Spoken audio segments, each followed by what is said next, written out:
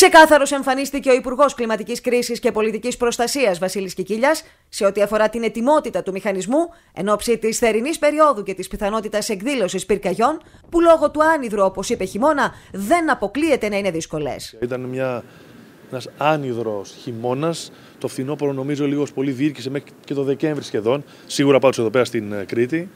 Βλέπετε και στους ταμιευτήρες με τα, τα νερά μας πώς έχουν πέσει η στάθμη και τι σημαίνει αυτό. Σε σύσκεψη που πραγματοποιήθηκε με πυροσβέστες και στελέχη της πυροσβεστικής στο Ηράκλειο, ο κ. Κικίλιας ζήτησε εγρήγορση όχι μόνο στο επιχειρησιακό κομμάτι, αλλά και στο κομμάτι της πρόληψης και το αποκαλούμενο νέο δόγμα του πυροσβεστικού σώματος. Εμείς προετοιμαζόμαστε προφανώς και θα έχουμε ενάρξη πυρκαγιών, το ξέρουμε αυτό.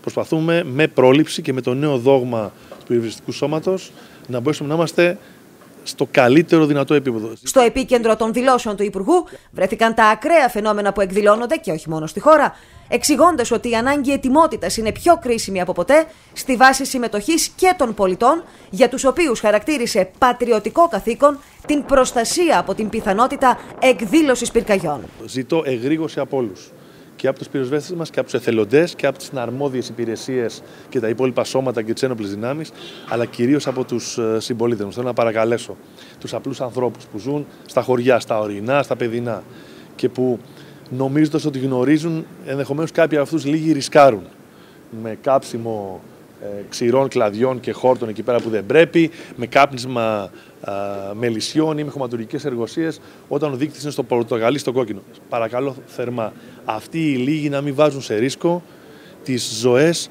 όλων των, όλων των άλλων. Είναι, είναι κρίσιμο πλέον, είναι πατριωτικό καθήκον είναι. Πρέπει να προασπίσουμε πρώτα απ' όλα το νησί μας, μια που μιλάμε για την Κρήτη, και φυσικά όλη την Ελλάδα.